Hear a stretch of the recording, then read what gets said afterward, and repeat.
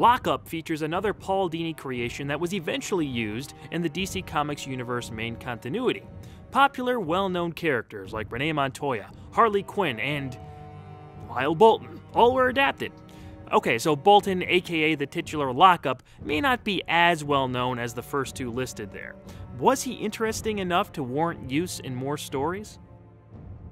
Lyle Bolton is the overzealous chief of security at Arkham Asylum, who tortures the inmates there. He's so cruel that an inquest is set up to address allegations made against him.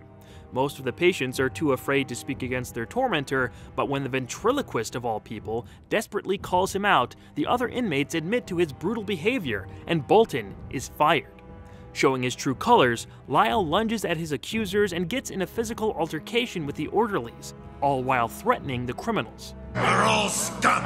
You should be beaten within an inch of your misbegotten lives! In a rant that reverberates around the asylum, Bolton expands his hatred from the inmates to include what he considers the true cause of Gotham's problems. The gutless police, mindless bureaucrats, and coddling doctors! He even blames the news for their coverage of Gotham's lawbreakers. Look at the way these monsters are turned into heroes. It all starts with the permissive liberal media. Six months then pass. When a kidnapping attempt on reporter Summer Gleason occurs, Batman springs into action. The perpetrator is a large armored figure named Lockup, who Batman quickly identifies as Lyle Bolton. Bolton gets away with Gleason and soon after also abducts Arkham's Dr. Bartholomew, Commissioner Gordon, and Mayor Hill. It's up to Batman and Robin to track down Lockup's personal prison and stop his warped, barbaric way of cleaning up the city. Another fine villain made possible by a grant from the Wayne Foundation. That's right, Lyle was brought into Arkham by a Wayne Foundation grant. I think that informs some of Bruce's mindset here. He was probably hoping to get someone at Arkham who could keep the prisoners from constantly escaping.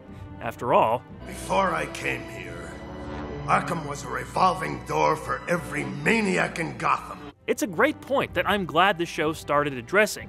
How long can innocent people keep getting hurt by the same offenders before someone takes more drastic steps than Batman to stop them? While Batman can, of course, be very aggressive in his apprehension of these criminals, we've seen him be compassionate to them when necessary.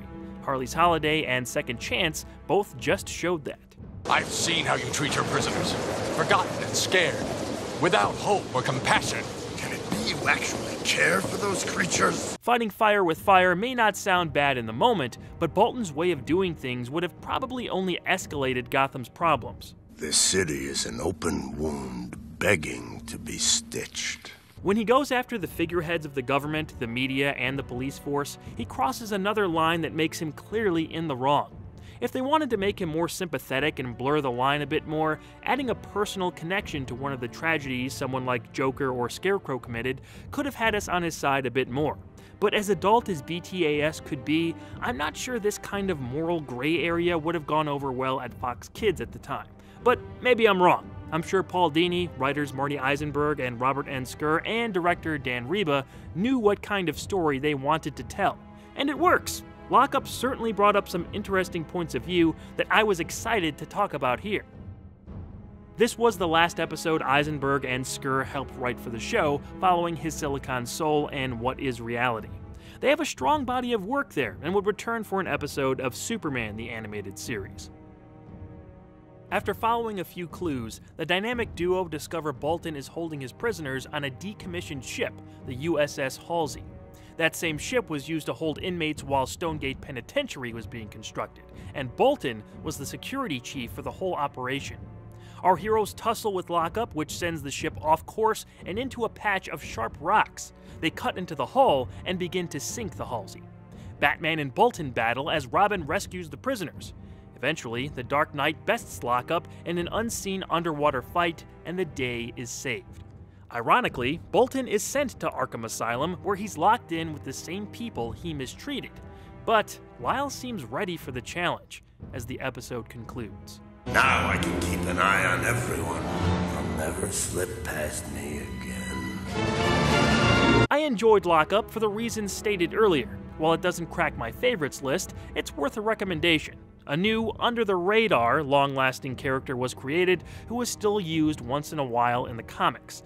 It's got a few funny moments, especially with Scarface and the ventriloquist.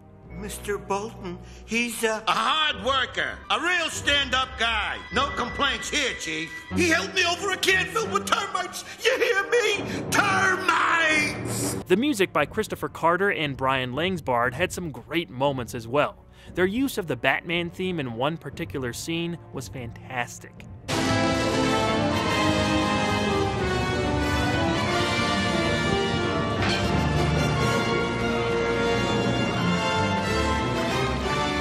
If there's anything to complain about in this episode, it's minor.